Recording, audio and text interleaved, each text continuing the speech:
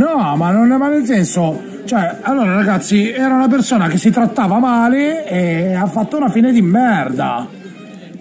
E che cazzo?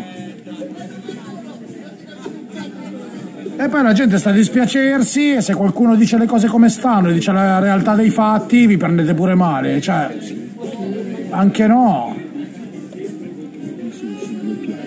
Ma cos'è quella roba lì? La gamba ha avuto un infarto. E secondo te perché ha avuto un infarto? Dimmi, secondo te ha avuto un infarto perché stava bene o perché aveva uno strato così di grasso intorno al cuore? Dimmi, secondo te perché? Per quale cazzo di motivo ha avuto un infarto? Dimmi. Perché se io, mi, se io adesso quando arrivo a casa mi lancio dal balcone e mi spezzo tutti e due i femori in 10 in 10 punti diversi non avrò comunque un infarto? Ah? Perché? Che altro c'hai i femori che ti, ha sfondato, che ti hanno sfondato tutto. Ho i femori in briciole che mi escono dal culo, però non mi viene neanche un infarto. Cioè, ragazzi, di cosa stiamo parlando? Era una food challenge continua. Cioè, è inutile fare i finti perbenisti del cazzo, i moralisti di sta grandissima fungia di minchia. Ok, diciamo le cose come stanno.